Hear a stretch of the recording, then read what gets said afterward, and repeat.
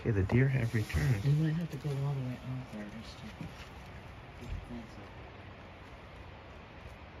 What's that, Eve? That's deer. They're always here. They're everywhere around here. Ah, you have to talk to him. I see Eve and Zoe. They're all females. The deer and the dogs.